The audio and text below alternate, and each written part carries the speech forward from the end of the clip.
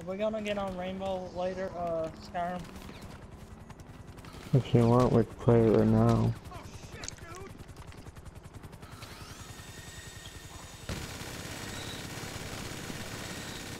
Well, now you got him upset. Way to go, Skyrim. I just thought we could play it right now.